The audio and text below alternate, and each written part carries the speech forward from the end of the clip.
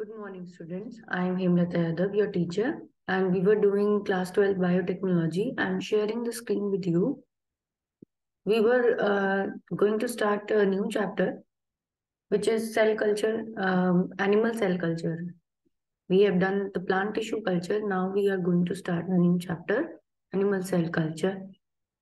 How we uh, uh, do animal cell culture, what are the various applications, how it is used, in the medicine, medical industries, in pharma industries, and what are the advantages, how we use uh, animal cell culture for recombinant protein productions, vaccines production, and how we use them to develop the various uh, useful um, materials from the animal cells like uh, tissue engineering.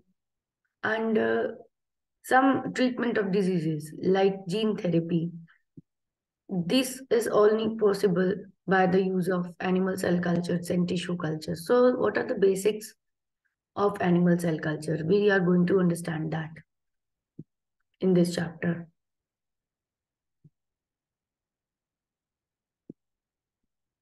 So I've shared the screen with you.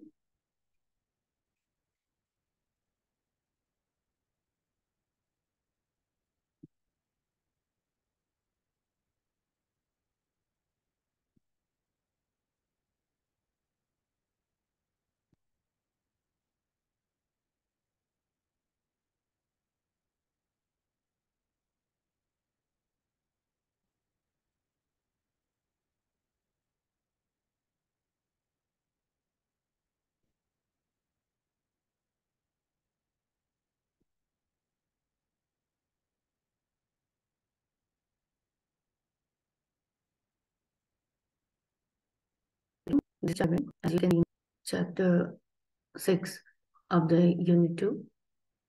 Um, so we are there. Um, animal cells, just as plant cells, will continue grow. It's written. By of growing cells conditions in culture. Culture definition is given. The culture are given. What we call clone is a population from parasite. So this is the disadvantages of animal cell which are given in this table. So in the first uh, column, you are uh, looking at the advantages. Homogeneous cell pop genetic population we have got. From the cell culture, we are able to get the population. Physiochemical environment. Easy to add genes, transfection, or regulate protein levels are in interference. Available in adequate number to do chemical study. Easy production of biopharmaceutical. No ethical clearance required so that is uh, the advantages. What are the disadvantages? Uh, small size, high sensitivity technique, detectable changes, scale up is challenging and may not represent in vivo phenotype genotype. So that are the disadvantages of this animal cell culture. So uh, we can, uh, it is a very useful process as well, but there are some disadvantages. So like it follows with this also, uh, one uh, point to remember is that the growth rate of the animal cell is also usually slow. That in four hours it needs to divide. एक animal cell को divide होने में अपने copy बनाने में 18 से 24 घंटे लगते हैं स्लो प्रोसेस होता है बैक्टीरिया बहुत जल्दी ग्रो कर लेता है थोड़े टाइम में पर एनिमल सेल को टाइम लगता है तो so, सबसे पहली जो एनिमल सेल कल्चर की लेबोरेटरी जो बनाई और सबसे पहला जो ह्यूमन सेल लाइन बनाया वो जॉर्ज गे ने बनाया 1950 में और उसे हेला सेल्स बोला सर्विक्स कैंसर सेल्स बनाए गए थे several important discoveries in medical sciences uh, that need uh, the need for cell culture especially at large scale become apparent with the need of viral vaccine क्योंकि viral vaccine है और हम देखा दिया हुआ है हमें advent of recombinant DNA 1970s in in bacteria जैसे ही टेक्नोलॉजी आ गई 1970s में, इसने एक्सप्रेशन करवाने लग गए मेमेलियन जीन का बैक्टीरिया में। वेवर ये रियलाइज़ हुआ कि लार्ज प्रोटीन और ग्लाइकोप्रोटीन थेरापेटिक वैल्यू की नहीं बना सकते हम बैक्टीरिया में, क्योंकि वो ग्लाइकोप्रोटीन्स के लिए शुगर नहीं ऐड कर पाते हैं बैक्टीरिया हमारे प्रोटीन्स में। तो this prompted uses of animal cell ही चाहिए हमको इसके लिए लार्ज स्केल प्रोडक्शन के लिए थेरापेटिक प्रोटीन के तो डेवलपमेंट ऑफ़ हाइब्रिडोमा टेक्निक इसको हमने डेवलप किया। इससे हम लार्ज क्वांटिटी में मोलिकुलर एंटीबॉडी बना सकते जो इम्यून्स डायग्नोस्टिक थेरेपेटिक वैल्यू की हैं। Further recent advancement in the area of stem cell tissue engineering and gene therapy are likely to treat regimes treatment के लिए ये सब चीज़ें यूज़ होने लग गई now for you learn about animal cell technology instructives are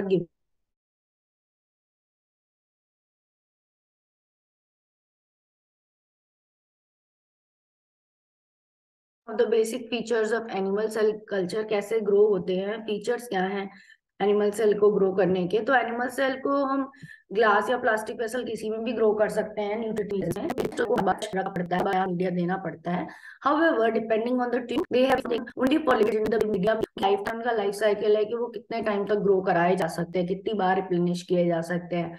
तो आपको पता है, ये दो चीज़ें हैं। एक तो कंटिन्यूस uh, कल्चर ज़्यादा प्रेफर करेंगे हम एनिमल सेल की ग्रोथ के लिए पहले स्मॉल स्केल पे तो हम लेबोरेटरी में यूज़ करेंगे बट देन उसको ट्रांसफ़र करके बायोरिएक्टर्स में ग्रो कराएँगे क्योंकि उसमें कंटिन्यूसली कल्चर चल सकता है जो बेस्ट होता है एनिमल सेल के लिए एंड ज़्यादा अमाउंट में प्रोडक्ट बनता है। एंड सेकेंड पॉइंट ये है कि uh, क्योंकि ये मॉर्टल सेल्स होते हैं तो और भी सेल्स सभी मॉर्टल होते हैं बट इंपॉर्टेंट फीचर है कि खुद ही ग्रो करना बंद कर देते हैं कल्चर वेसल में fill the surface of the culture vessel then stop growing relating to this what happens in the animal body and uh, the infant animal grow only to adulthood and not any further infant animal जो है बच्चा वो अपना कहते हैं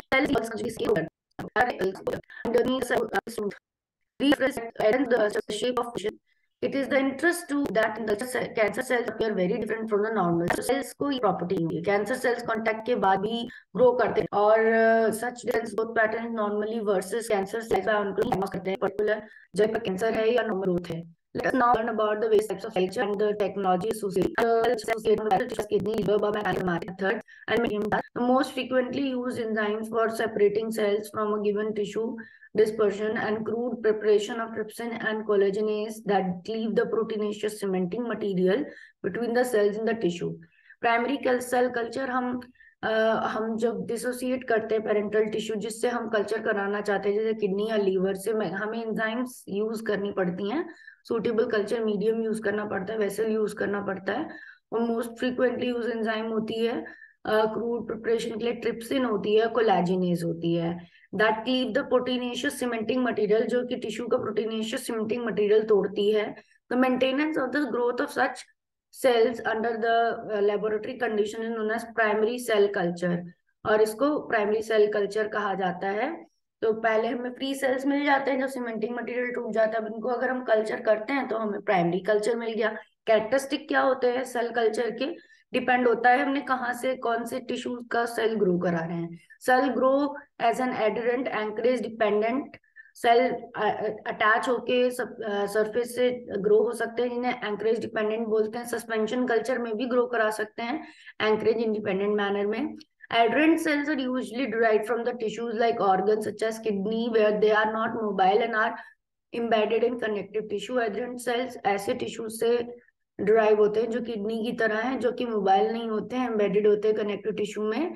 They grow adhering to the cell culture vessels वो vessel से जुड़कर ग्रो होते हैं। On the other hand suspension culture do not attach to the surface of the culture vessel suspension cells ऐसे नहीं ग्रो होते। सस्पेंशन सेल्स ब्रॉथ में grow होते हैं और कहीं भी ग्रो हो सकते हैं सस्पेंडेड फॉर्म में इन विवो जैसे लिम्फोसाइट्स हैं that the drawback of primary culture are that they are time consuming and require use of live animal fresh tissue drawback ये है कि इसको हमेशा फ्रेश टिश्यू और एनिमल के सेल्स को ग्रो कराने के लिए प्राइमरी कल्चर को टाइम लगता है और फ्रेश टिश्यूज भी लगते हैं। They can be considerable variation from one preparation to another particularly the prepared by different people और अलग अलग प्रिपरेशन की ज़रूरत पड़ती है। These difficulties can be overcome by the use of secondary cell culture cell lines. So, ये चीज़ किससे overcome कर सकते हैं हम।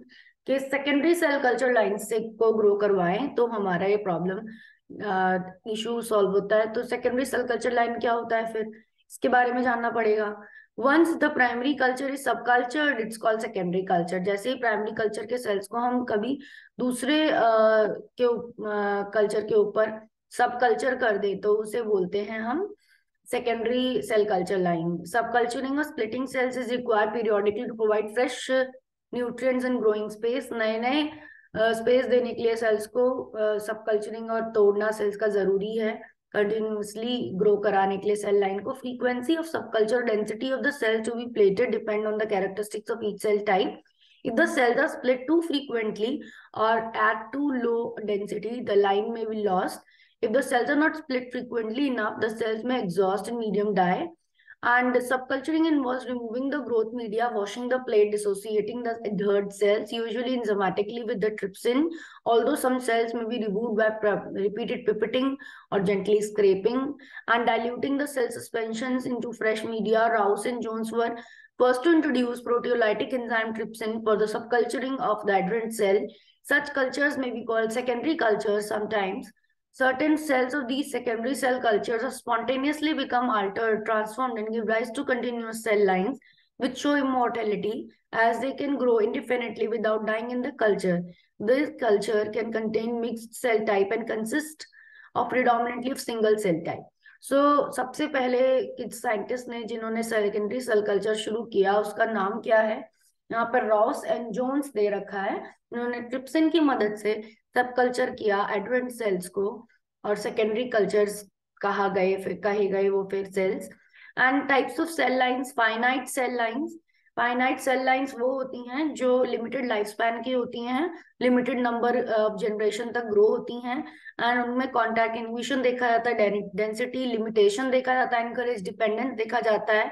तो mode of growth in in the monolayer form ये मोनोलेयर की फॉर्म में ग्रो होती हैं तो growth rate is slow and doubling time is around 24 to 96 hours में ही डबल होती हैं।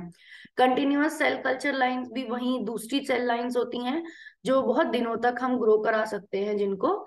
एंड uh, ये कैंसरस होती हैं और ये कॉन्टैक्ट शो नहीं करती हैं। तो कंटिन्यूस सेल कल्चर लाइंस का भी आ, के बारे में भी बताया। रैपिड होता है ट्वेल्व से चौबीस घंटे बारह से घंटे में ग्रो हो जाती हैं इन विट्रो कल्चर में। कंडीशन में और कंटिन्यूस सेल कल्चर लाइंस ये होती हैं। तो various properties associated continuous culture line polyploid ये ploidy change in the basic number of chromosome no contact inhibition no anchorage dependence the mode of growth is इधर monolayer और suspension form किसी में भी ये ग्रो हो सकती हैं। The growth rate is rapid doubling time is between twelve to twenty four hour the density limitation is reduced और लॉस्ट यहाँ पे कुछ डायग्राम दे रखे हैं। HeLa cell line from the human cervical carcinoma HeLa cell line दिखा रखी है first में। सेकंड में CHO continuous cell line from Chinese hamster ovary CHO cell lines भी दिखा रखे हैं चाइनीज़ हेमस्टर ओवरी से। And COS one cell line from the monkey kidney monkey kidney के सेल लाइन से भी हमें सेल लाइंस दिखा रखी हैं सीओएस वन सो अब यहाँ तक हमने इंट्रोडक्शन पढ़ लिया कि सेल कल्चर लाइंस दो तरह की होती हैं फाइनाइट सेल लाइन इनके एग्जांपल है देख लिया। ओएस वन कल्चर के जोन्स सबसे पहले करते हैं कल्चर को। वो भी हमने ट्रीटमेंट को करते हैं। तो this culture application I hope you topic concepts and basics are clear